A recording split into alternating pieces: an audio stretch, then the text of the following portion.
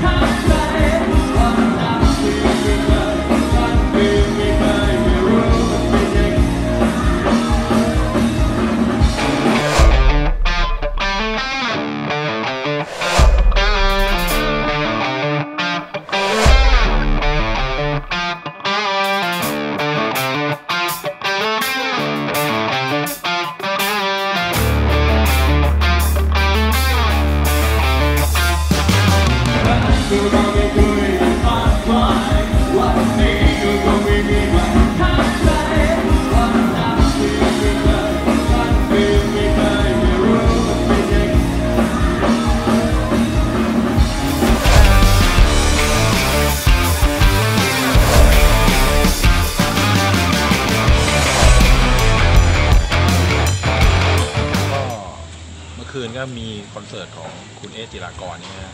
อนเสิร์ตก็ขึ้นเวลาประมาณก่อนก่อนเที่ยงคืนประมาณหนึ่งขึ้นก่อนเที่ยงคืนแล้วก็นี้อะคุณเอก็ทำการแสดงไป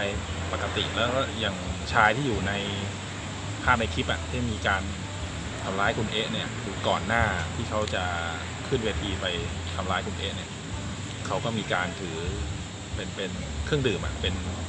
แก้วช็อตอะครับอ่ากินกินกับทางคุณเอะก่อนหน้านั้น ก็มีการข อบคุณกันหรืออะไรกันอย่างเงี้ยปกติอะไรอย่างเงี้ยแล้วในจังหวะนั้นเขาเดินมาอีกรอบหนึ่งเนี่ยทางทางทางการเนี่ยเขาก็เห็นแล้วแหละว่าคนเนี้ยเคยเดินถือเอาแก้วเครื่องดื่ม มาดื่มกับคุณเอะแล้วครั้งสองครั้ง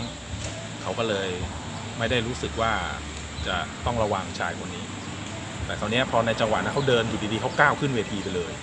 พอก้าวขึ้นเวทีทางการเขาก็อย่างที่คุยตกลงกันอยู่แล้วล่ะคืออลูกค้าหรือคนดูเนี่ยขึ้นไปบนเวทีไม่ได้ พอขึ้นไปกาดเขาก็เลยต้องกันตัวลงมา ในจังหวะที่ดึงเนี่ย ดึงตัวลงมาเนี่ยชายเสื้อขาวเขาคงหงุดหงิดแหละไปดึงเขาลงมาเขาก็เลยผักกาดพอผักกาดแล้วก็หันไปก็เหมือนแบบหงุดหงิดก็คงจะไปต่อยคุณเอะเลยจังหวะนั้น จากจากจากข้อมูลที่ผมคุยกับพนักงานในร้านนะเขามากันประมาณ8ปดถึงเคน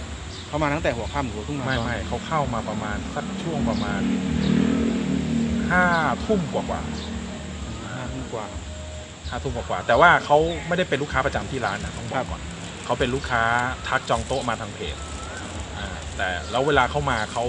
ไม่ได้ว่าเข้ามาตูมเดียวเจ็ดแปดคน หรือเก้าคนอะไรอย่างนั้นเขามาทีละคนสองคนคนสองคนทยอยเข้ามา แล้วเมื่อคืนลูกค้ามันเยอะมาก คุณเอ๊ร้องไปนานเลยงครับก่อนที่ร้องไปได้ชายที่จะกล่าวเกิด ประมาณสี่เพลงครับประมาณจำไม่ผิดสี่ สี่เพลงถึงห้าเพลงประมาณเนี้ยครับก็คือร้องเพลงหนึ่งก็อาจจะเดินขึ้นไป เอาชนผมจำได้ว่าช่วงประมาณเพลงที่สามมั้งประมาณเพลงที่สองที่สามเนี่ยคนเนี้ยก็เอาแก้วเครื่องดื่มไปกินกับคุณเอ๊ะแล้วล่ะรอบหนึ่งครับ อ่าประมาณนั้นพอเกิดเหตุปุ๊บเนี่ยเอ่อทางทางร้านเนี่ยโทรแจ้งเจ้าหน้าที่ทันทีเลย แต่ด้วยเหตุแบบว่ามัน ชุลมุนแล้วคนมันค่อนค่อนค่อนไอค่อนข้างเยอะคนที่ก่อเหตุเนี่ยก็อาศัยช่วงชุลมุนเนี่ยหนีไปอย่างรวดเร็วมาก หนีแบบรวดเร็วอะแล้วทางร้านก็ออกตามตามไปก็ตาม ไม่ทันแล้วเพราะว่าเขาขับรถหนีแบบเร็วมากนะแล้วจากนั้นก็เจ้าหน้าที่ตำรวจในพื้นที่เนี่ยเขาก็มากันเลยมากันเป็นกลุ่มใหญ่เลยเข้าเข้ามาดูเคลียร์พื้นที่มาจัดการว่าเออมาสอบถามว่าเหตุการณ์มันเกิดได้เพราะอะไร แล้วก็มีการนัดหมายกันว่าในวันจันทร์พรุ่งนี้ ก็คือทางทางร้านจะเข้าไปดำเนินการแจ้งความดำเนินคดีกับลูกค้าท่านเนี้ยแบบถึงที่สุดนะฮะเพราะว่ามันมันร้านเปิดมา 6 ปีจัดคอนเสิร์ตมาก็ 20 30 ศิลปินแล้วอะก็ไม่เคยมีเหตุการณ์แบบนี้ ก็มีตรงถ้าจำไม่ผิดรู้สึกจะกกหูด้านซ้ายนะเป็นรอยแดงๆ ราะเหมือนกับว่าช่วงเขาเหวี่ยงแขนไปอะมันโดนถักๆไม่ได้โดนเต็มๆ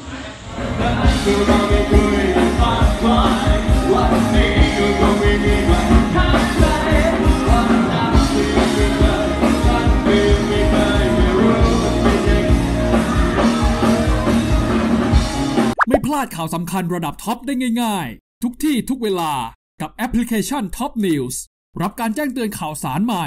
แชทคุยหน้าไลฟ์ได้ ดาวน์โหลดได้แล้ววันนี้ทั้ง App Store และ Play Store